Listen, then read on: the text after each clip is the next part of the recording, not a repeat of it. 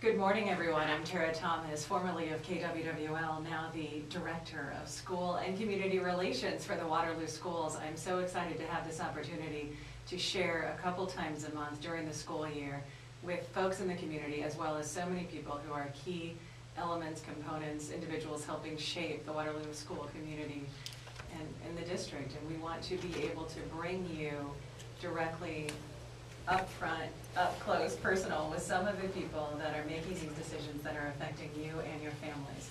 And the first person up uh, in my first endeavor to carry out this interview segment is a friend, a woman who's become a friend. Her name is Kathy Corbin, and she is heading up all things busing through Durham for the Waterloo Schools. Good morning, Kathy. Good morning, how are you? I'm doing well, and we thank you for taking time out of what is often a busy call center over there at the bus barn, where you're fielding a lot of calls, questions, and concerns. We all know it's the, it's not the elephant in the room, that there have been, I guess, there's been some angst with busing insofar as how parents have perceived what the district has done change-wise, where the routes and the assignments are concerned this year. So we're gonna get into that. We've got Kathy pinned down here for fifteen minutes, but before we cover some of these issues, just tell us what is your title, what's your background? How did you land as the head of, of this school busing situation? Actually, I'm the general manager for Durham School Services. I started out as a bus driver, so I've been on the road and I've been behind the wheel of the bus. Um, I've been in the transportation industry for about fifteen years. When I went from being a bus driver, I went to a safety manager, to a training area, and so I've also experienced the safety part of our business. And now I am working as the manager for the company. I've kind of worked my way up. And talk about how it's been going, because to hear Kathy tell it, she is, and many of her staff are burning the midnight oil, so to speak, just to ensure that all of these issues that people have presented with you folks are being ironed out and addressed. Talk about how that process is going. Well, you know, startups are always rough. Every year we have a startup and every year we have to get the kids where they need to be. And the first couple of weeks are always rough, but it's starting to settle down now. Um, my staff has been working pretty hard to get everybody where they need to be. Um, right now, we're looking at fine tuning some of the routes and cleaning up anything that's left, you know, kids, making sure kids are where they're supposed to be and that everybody's there on time. The other thing, the next thing that we're working on is we're going through all the routes and reviewing safety issues. We have a process where we have the drivers kind of evaluate their route, and if there's anything on their route that they feel is unsafe or uncomfortable, we go through those routes with them and we reroute or take care of any issues that we need to. Um, another big issue with the district right now is that we had a lot of paid, we had hundreds and hundreds of paid and daycare requests that came in. And we did get a little backlogged with those, but I believe we, af- after my staff worked all weekend, last weekend, we got them all caught up, and so those all should be taken care of now. And they're notifying the parents if they were denied. Um, we notified the parents, we called them all. If they got daycare or transportation requests, if they were denied, our router's going through them one last time to see if we can make sure that there's no transportation available, and then we're notifying those parents. And let's talk more about how that process works in terms of who's eligible, because many grandparents and parents have said, hey, my child or my student in the past was eligible for this particular service or this particular route, but what we do know is there, there is a law laid out and the policies that have to be followed, so just explain what some of those eligibility rules are, so people get, you know, how these, I guess, rulings are coming down. Well, I think it's really important that we understand that not too much has actually changed. We're just really trying hard to enforce the policies that we have. And it begins with the state of Iowa, and there's eligibility requirements for the state of Iowa. And those requirements are, is that K through eight have two miles, so if you are two, less than two miles to the school, you are not eligible for transportation according to the state. Now, if you are in high school, which is the nine through twelve group, you have three miles up to be eligible for this transportation. Um, I'm kind of happy with the Waterloo School District, and I feel very good about the fact that they're willing to actually lower that standard a little bit, so they put K through five, and they're eligible if they're under a mile. So, They're- so they're the walkers state if is they're under a saying, mile. sorry to interrupt, but the state is saying, hey, we don't have to provide transportation within a two-mile radius, but the Waterloo school system is actually saying, we want to give younger kids that opportunity, so we're cutting it off at one mile. That's So that correct. is a distinction that's worth noting, because Yeah. we're giving more people the opportunity for ridership than what the state even requires us to do. That's correct. So once we determined eligibility for that, all those kids got routed first because those are the ones that are eligible for buses. Now, we also want to give as much chance as possible to get transportation and use everything that we have to provide as many kids as possible. So the district has some business rules that we're working on enforcing here. And those involve paid transportation and daycare transportation. And the paid transportation, there needs to be an existing stop, there has to be a bus route, and that bus also cannot be full. And if those things exist, we can add kids for a fee, and I believe it's fifty-five dollars a month. The kids can be added to that route and they can still get a ride to school. Um, daycare transportation is the same rules, the only thing is, is that it has to be a licensed daycare for them to be able to be eligible for that transportation. Um, we can't create stops for those character, you know, for those two programs, but we can get them on as good as we can. And we should mention that some of getting the process, or some of getting these requests processed was hinging on how early folks turned in their paperwork. You know, some of the folks turned them in really early in the summer, and they were a little concerned because they hadn't gotten their information yet. But we can't actually route those kids until all the kids that are eligible are routed, so that means we have to wait for kind of registration to come in.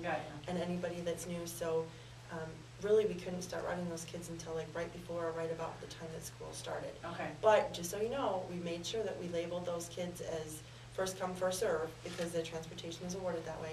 So we kept track of dates and we did the pile from beginning to end, first come, first serve. that's good to know. So if you get it in early and you make that effort, you are not gonna be pushed to the bottom of the pile, so to speak, Right. once you're able to process the request. Okay, thanks for clarifying that. Hey, if you're just joining us, this is Tara Thomas with Waterloo Schools. I'm joined by Kathy Corbett. She is the transportation guru, we'll call it, all things busing for the Waterloo School District. And hey, if you're not interested in busing because your child or your grandchild isn't riding a Waterloo bus, hang tight because we've got the new Cunningham principal coming up here in the back half of our half hour. So don't go anywhere for that. Now Kathy, you stay put because I have a couple more things to cover with you. Any issues that you feel need to be addressed? There are a lot out there that I think were perpetuated as often as the case sometimes through Facebook, social media. I mean, there's that word of mouth, talking to your neighbor, your friend at church. So what would you like to kind of squash rumor-wise or clear up once and for all if given this opportunity? Well, I think the most important thing, or that's important to me, is to thank the parents who've been patient and helpful and have called us and, and waited their turn for everything that they needed. And I really appreciate that, and that's, my staff really appreciates that. Um, the biggest rumor that I've heard is that I've had parents call me and say, well, I bet your kid has a bus. And I just wanna make sure you know, my kid doesn't have a bus either, because he doesn't fit in those business rules.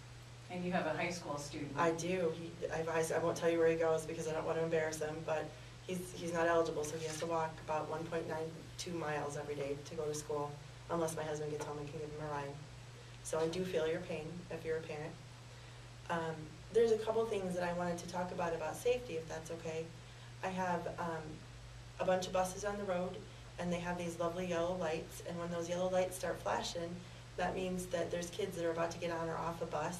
So you need to slow down and make sure that you stop for that bus, and then as the door opens on the bus, the stop arm comes out, and so those kids are getting on or getting off.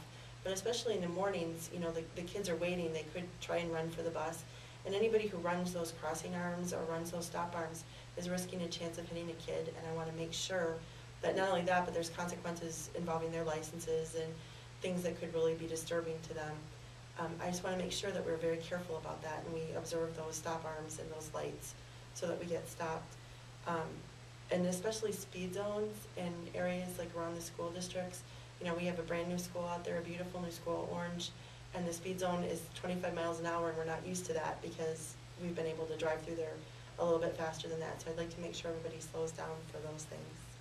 Okay, and then there's a community service component that listeners would be interested to hear more about, where Durham is asking for, I guess, help to be a good neighbor. Talk about that. Well, I, one of the, you know, it's been kind of a stressful few weeks, and I'd really like to find something that we can do, and um, Durham has a program where we do an adopt-a-school program, and I was out at Elkhorn Preschool the other day, and they have this lovely room that if it were filled up with books, and it were filled up with color and um, cozy stuff, we could make a really nice library for them out there. So we've adopted that project with my drivers, and we're asking if you have any new or gently used children's books, zero to eight, early learning, um, like those board books, um, anything that would be appropriate for a preschool children's library. Um, they're also looking for some children's furniture. Now, we don't want like bean bags or stuff like that because that's got little tiny pills in it that the kids could eat or put places that Sure, they sure. shouldn't be. But, um, anything, you know, the foam stuff that's nice, um, anything that would be helpful for that library. If you have something and you wanna bring it out to the bus garage, if it's a big load, you are more than welcome to come out there. We're usually there till at least five at night. If it's a small load and you just wanna hand it off to your driver, you can hand it and they'll bring it in to us. But we're gonna try and build a library for Alcorn Preschool. It's kind of a thing that I really wanna do very badly. I think it would be a really good project for us. Well, I think it's awesome, and I appreciate you wanting to do something with a community service component when we know that all of us get busy, we all have responsibilities, and when I saw that stack in your office of all of those applications and all those issues that, that had to be processed, I can feel your pain from the standpoint of your, you and your staff, you're only so many people with so many hours, and your commitment is to get back and smooth out everybody's situation. But in this case, patience definitely has to come into play here. Absolutely. When you have, you know, so many obligations that can't be processed overnight. And, and to that point, I guess I would just give you this opportunity as well to say something that I know about Kathy is when calls have come into my office, to the office of some of the other administrators, we are able to then pass on those messages, those names, those phone numbers directly to Kathy and her staff. And I can tell you that they are consistently, effectively going through, trying to get, you know, the call back and resolve whatever issue. So I think sometimes understandably, the public perception is that we are these inaccessible, um, you know, administrators behind a wall where we're shutting out that opportunity for the public to connect with us, via face-to-face even, or over the phone. So sort of open up that dialogue and just tell us why that is not the case with Durham and with your involvement thus far. Well, you know, like I said, I was a bus driver that was out on the road, so I know what the issues are with the bus drivers. Um, the parents that are calling us and talking to us, um, I'm doing my best to call them back. Personally, if I need to, you know, we try and resolve it with our staff.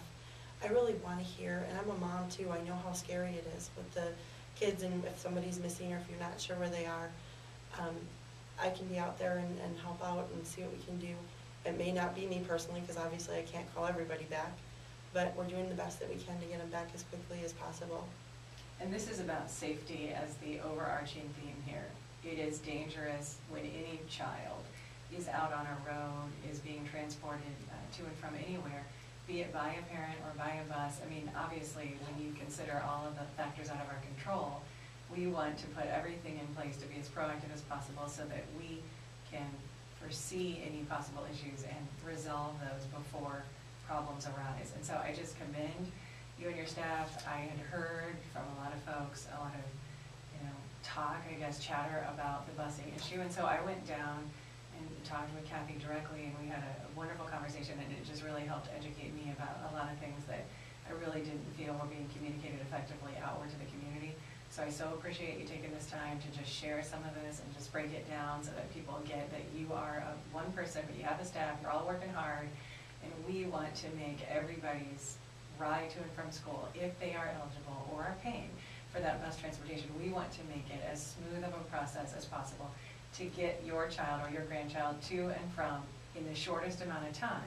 So we can Absolutely. get them in the classroom, because that's where we want them to be. So thank Definitely. you so much, Kathy. And one final point, what would you like to say, just when you have this last thirty seconds of airtime, to kind of summarize where you guys are going from here with the busing? Well, I think we have a lot of new ideas that I want to try for next year, you know, to make things a little bit more smooth. Um, I want to make sure that the routes, you know, if you give us some time to make sure that those routes are all safe and everything is good. Um, and we want to have, focus on an ongoing safety program now that things are starting to settle down. We're focusing on training with our drivers, um, making sure that our buses are on the road and that they're doing the safest thing possible. So if there's anybody that has suggestions, um, route time is not a good time to call us because we're dealing with the routes. But between nine thirty and about twelve thirty, we are loving to hear anything that we have to say, or that any ideas that the public has to give us. Thank you, and thanks for stopping by to spend some time with me. We'll be right back with Craig Sadler, the new principal at Dr. Walter Cunningham School for Excellence. Stay tuned. Okay, and we are back. This is Tara Thomas. Thanks for staying with us, or if you're just joining us, I'm the Waterloo Communications Director, my official title, Director of School and Community Relations, formerly of KWWL, if you recognize the sound of my voice. And I'm so excited to have at least about 15 minutes here before we wrap up our half hour to speak with the new principal of Dr. Walter Cunningham School for Excellence. Good morning, Craig Sadler. Good morning, Tara. Thank you for having me. Thank you for being here. So first off, just tell us a little bit about yourself. You're new to the community. Actually, uh, returning to the community, um, some time ago, um, my wife and I actually relocated to the Waterloo area, and we uh, we're both UNI grads, so we have some roots um, that stem back a, a few years. Uh, we I actually started my teaching career at the lab school when it was still here. Um, it was a wonderful time for me to explore my teaching career. Um, and immediately leaving the lab school, I actually started in a position as an administrative assistant with the Waterloo schools um, prior to leaving and assuming other positions across the state, and now returning back as principal. So you've come full circle in your life. Absolutely. Talk about what you did once you left our area and how that has shaped where you are in your view of education. Um, immediately after leaving um, the Waterloo schools, uh, we, moved to Ohio. I had, had an opportunity to work on my doctorate degree out there, so we lived out there for three years, um, during which time I was working on my, my doctorate in educational leadership while simultaneously serving as assistant principal in a suburb of um, Cincinnati Public Schools. So that was a very, um, very rewarding um, time. Uh, while I was serving in those capacities, uh, my phone rang, and an opportunity to return back to the state of Iowa presented itself. Um, at which point in time, I assumed the principalship at Mark Twain Elementary in Iowa City. Um, after serving in that role for, for a few years, um, had an opportunity to also serve as principal in um, Cedar Rapids and most recently in Des Moines. Um, but right prior to um, serving as principal in Des Moines, um, I also had a chance to return back to UNI. Um, both my wife and I, for a brief stint, um, joined the educational leadership faculty, um, Department of Educational Leadership at UNI. And um, that was also a very rewarding experience. And it just seems like we kept trying to find a way to get back to the Cedar Valley area. Now an opportunity to permanently do that has presented itself. And you mentioned your wife. Talk about what your wife's doing with Waterloo Schools. I think people would be interested to hear that, like you said, it's a family of educators. Absolutely. Um, she's now serving as a family support worker at Highland Elementary School. Um, this actually feeds very, um, quite well with her um, social work background. Um, her bachelor's was in social work uh, from University of Florida. Uh, she also then received her Master's of Education here at UNI, and she was working on her doctorate at the University of Iowa at the time when I was serving as principal down there. So let's talk about Cunningham, your new charged assignment. I mean, what is it that you see right now as your biggest accomplishment that you can carry forward? What's happening behind those doors that you want to share with the community, shout from the rooftops? There, there's quite a bit that's happening over at Cunningham right now. Um, whenever you have an, uh, I like to view it as an opportunity, uh, where we had sixteen, um, new teachers coming in with, um, fresh with new ideas and, um, energetic and ready to, um, just kind of face their careers in education. Um, providing, um, an atmosphere where we're able to share with them the pre-existing culture that was present at Cunningham and also providing them an opportunity to inform that culture. That was one of the major things we wanted to try to accomplish coming through the door. So, um, you know, some of our earlier staff meetings, um, that's exactly what we focused on. Um, since Cunningham's approximately 12 years old, um, several of the staff that have returned back to Cunningham this year have been there from the very beginning. Some of them may even go as far back as being a part of the initial Grant um, elementary staff that came across to Cunningham. And we opened up a dialogue focusing on, you know, what was the narrative on Cunningham 10, 12 years ago? What it was the narrative five years ago? Um, what is the perceived narrative today? But most importantly, what is the narrative that we want to create 10 years from now? And that work starts today. So um, it was an excellent opportunity to transmit a lot of the school pride that was present from the staff that has returned, um, to those that are now joining the staff and have joined in with that school pride. And um, start the process of starting to develop those practices that will form that narrative 10 years from now in terms of what is that story of Dr. Walter Cunningham School for Excellence. I love that, that makes sense. What is the narrative moving forward? And, you know, I have to say, for me, when I came to this community about eleven years ago, I was so fortunate that when I got into the school mentoring program, I became a mentor to a little girl at Cunningham who's now an adult, and we've carried that relationship over, but it, it got me in the building once a week. And what I loved about Cunningham, and what I think anybody who visits that school will tell you, and you know, this is the environment, it is such an amazingly controlled environment of learning that as an outsider coming in was just so impressive. So just remind people about what is so unique about maybe, maybe it's the culture of Cunningham that has set it apart, but also it's a year-round approach. Absolutely. Um, I certainly have to give a lot of credit to my predecessor, um, Liz Crowley. Um, she, she, for, prior to my arrival, she was the, um, the only principal that Cunningham had, had experienced. And, um, she, um, she was also the principal at Grant prior to, to that process. And, she put a lot of hard work into putting in place processes, putting in place procedures, setting the, um, the bar, um, to help the school reach its own definition of excellence in terms of um, excellence in the classroom, excellence in the hallways, excellence out in the community. Um, there's definitely a, a, a very strongly expressed commitment towards excellence, not only for what is expected from students, what is expected of staff, what is expected of everyone that steps into those doors at Cunningham.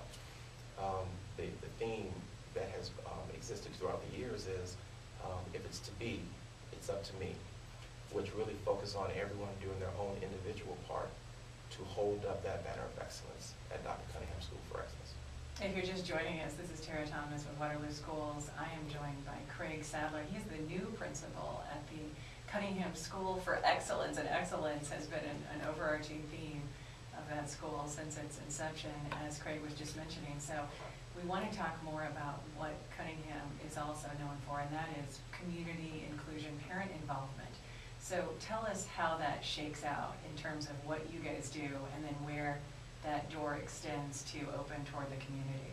Well, it, it always starts with an open door policy. Um, whether it's a parent, community member, um, extended family member, um, anyone who wants to come and be a part of what's happening at Cunningham, there's always an opportunity to come and learn more about what we do. Um, we, we've been very busy towards the start of the school year, but not so busy to where we don't have the time to sit down with any community member, any parent that wants to come down and sit down and have a conversation with us. So I guess one of the first messages I'd like to share out with the community is, whether it's with myself, any member of our leadership team, um, just feel free to give us a call. We'd be more than happy to sit down and have a conversation about the more specifics about what's happening, um, the things that are happening specifically at the school. Um, that being said, we also have um, several um, after-school events that take place in which we invite the community to be a part of um, what are the different things that are happening at the school, uh, whether it's different um, um, extensions of learning that's happening in, in the classroom um, versus um, different celebratory events in which we're asking parents to come and be a part of the celebrations that are taking place. Um, one of the, the new things that we're in the process of trying to get launched is um, at our uh, PTA meetings, uh, we've announced that we also would like for our PTA meetings to be a forum where parents can also come and get questions about school and non-school related um, issues resolved. So with our various partners of education that we have, we have access to a number of different resources throughout the community that can speak to a host of different needs that parents may have. Uh, we don't want to just uh, be about the business of talking about reading, writing, and math, as important as those subjects are. But if parents would like to have additional information on how to um, open a bank account, how to get that first home mortgage, um, how to improve the quality of their lives in any particular area. We want to make sure that we can do our part as a resource within the community to bring that information to the to, the, to those parents in those PTA meetings.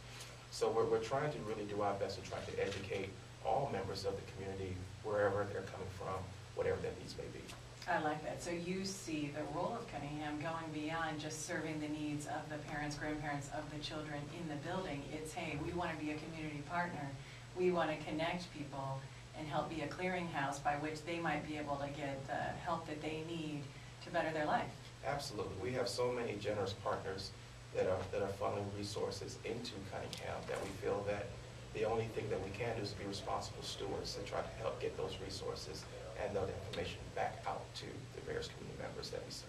And we should mention, one of the proud Cunningham partners is KBBG, this very station, Craig. So I have to give a shout out to KBBG for partnering with Cunningham. And when you talk about all the good things going on, you know, I think it would be, I would be remiss not to say, what are some challenges that you guys are dealing with, not just in Cunningham, but that you see with education in general, that you would want to address on a more public stage? Well, there's also, there's always a changing landscape that you have to deal with. At Cunningham, this is, this has become a very real reality, given the fact that the entire leadership team is new, as well as we've, uh, we've brought, on- brought on board sixteen new teachers to the Cunningham team. Whenever you have such a wide-scale shift of that nature, um, there's a lot of work that's gonna go into, um, transmitting the expected and desired culture moving forward. So um, it doesn't happen overnight, but we are each committed and continue to do whatever is necessary to continue to improve each day upon the previous day as we continue to move forward. So whether we're talking about student achievement and trying to help students continue to move forward, whether we're talking about a collective achievement in terms of what we're trying to accomplish as a building, our goal always remains to improve upon the previous day as we continue to move forward. And one last thing, why would you encourage parents, grandparents who have children that might be future students in Cunningham to check the building out, to give Cunningham a try? I guess sell, sell all the great things you know are happening in the classrooms. Well, one of the, one of the selling points, I think, is the fact that we, we strive to be inviting to any and all um, parents, to all students. Um, we, we definitely do our, our absolute best, and uh, we have a number of resources, and we try to be very responsible in the distribution of those resources to meet students' needs wherever they may be. So whether there's a student that may be hindered with a disability of some sort, uh, whether we're talking about a student that is um, um, extremely proficient and is um, demonstrating gifted and talents um, beyond the scope of the, of the curriculum, we challenge ourselves to continue to do everything we can to meet each of those students in wherever their specific individual needs may be to help them to become the greatest student that can be possible. Well, that's awesome. And what, off the top of your head, can you tell us what number are we looking at enrollment-wise this year at Cunningham? It's really, um, it's jumped up, and it jumped a little bit higher than we thought it would have this year. Um, we we're hovering somewhere around four seventy, Okay. actually right now, which was an increase. Um, we actually had to add another kindergarten classroom after the start of the school year based upon the increase in enrollment, um, that we received, um, since the school year started. So, um, we're very, um, it's, it's what we call one of those good problems that we have to, to deal with, in the sense that whereas it wasn't anticipated enrollment would be that high, we're certainly glad there's so many community members that have expressed, um, continued support for the Cunningham School and the Cunningham team. And you talk about some of these after-school activities off the top of your head, can you think of the next event coming up or what somebody might want to get engaged with that they don't have on their schedule thus far? Absolutely. We have um, actually our flash programming that will be starting next week, Tuesday. Um, Students should be in the process of bringing home um, parent permission slips. Um, And flash is an opportunity each Tuesday and Thursday um, for students in grades kindergarten through fifth grade, where there's additional academic supports that are provided by our own staff. Um, Our staff stays an extra hour um, after school to provide uh, extended programming for our students aimed at um, remediating any academic gaps that may be present. So um, our work extends beyond the school day, and um, we just do our very best to try to make sure we can do that. We also have an upcoming fall festival um, that will be coming up here very shortly, where flyers will be coming out to the community. Okay, am I getting the cue here? Are we out of time? All right, I want to thank Craig Sadler from Cunningham for stopping by and just remind all of you that we'll be stopping in a couple times a month to update you on what's happening to Waterloo Schools. This is Tara Thomas. Have a great day. Thank you.